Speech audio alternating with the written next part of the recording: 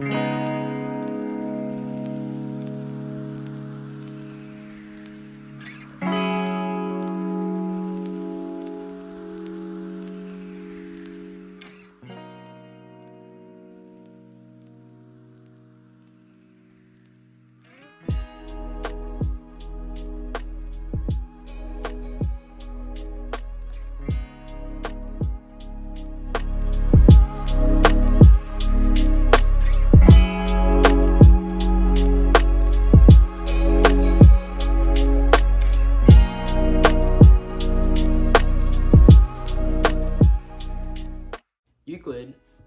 Alexandria, Egypt, is one of the most prominent mathematicians during his time, which is 300 BCE. He is also ranked 14th most influential person in history because of his elements of geometry.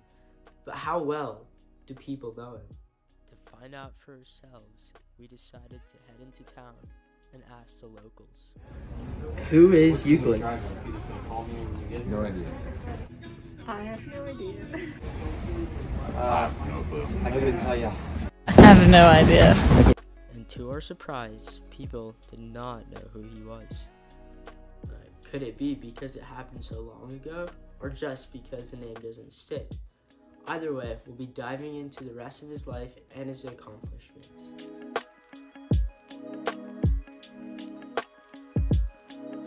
Um, can you guess what time period he belonged to?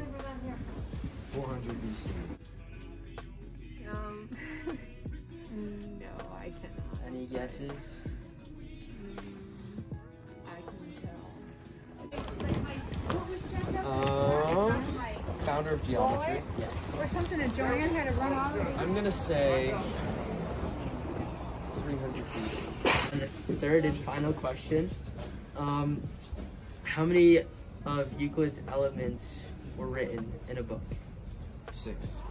Close. 13, but good job. Thank you. Thank you so much. And last and final question.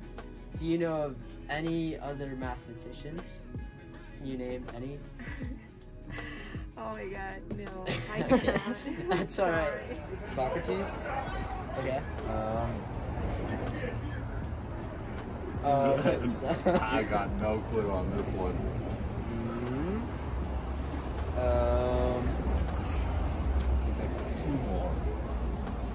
Besides Euclid, A squared plus B squared equals C squared?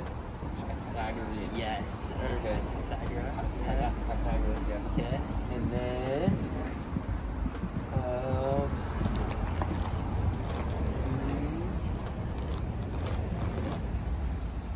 it's called Isaac Newton. is that- Yes, yeah, he would be considered one. All right, that's that's a wrap. Thank you. Yeah. Thank you. Thank you. After seeing what the locals had to say about Euclid and other mathematicians, we decided to go back and learn more about Euclid's life, education, and more. As stated before, Euclid was born in Alexandria during the 4th century.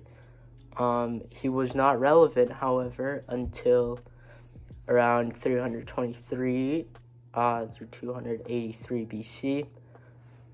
Um, it is thought that he received a degree in math um, from Plato's Academy in Athens as well as he worked with a team of mathematicians from Alexandria to write his 13 elements of geometry.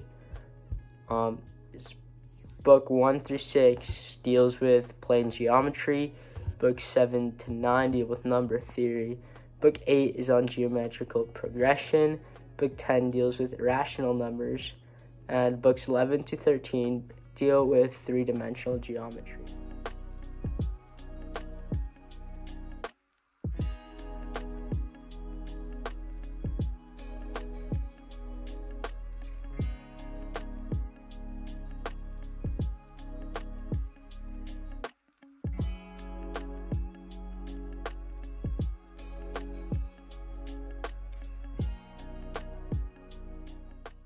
Euclid's five general axioms. Things which are equal to the same thing are equal to each other. If equals are added to equals, the wholes or sums are equal. The opposite is also true. If equals are subtracted from equals, the remainders are equal. Things that coincide with one another are equal to one another. And finally, the fifth general axiom is that the whole is greater than the part.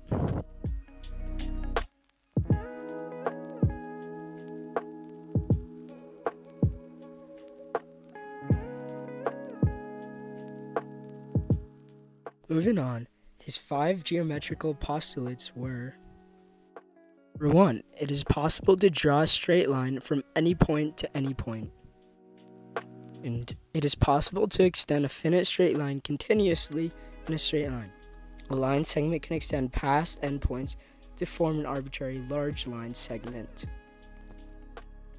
Third, it is possible to create a circle with any center and distance radius. Fourth, all right angles are equal to one another. And his last geometrical postulate is if a straight line crossing into straight lines makes the interior angles on the same side less than two right angles, the two straight lines, if produced indefinitely, meet on that side on which the angles are less than two right angles. As shown above, these are the five geometrical postulates starting from 1 to 5. The first one being that it is possible to draw a straight line from any point to any point. The second one shows that you can draw a continuous straight line regardless of the segment. The top right one shows that it is possible to create a circle with just center and distance. The fourth one shows that all right angles are equal to one another, while the last two show the diagram of the two lines crossing each other, creating interior angles that are less than two right angles.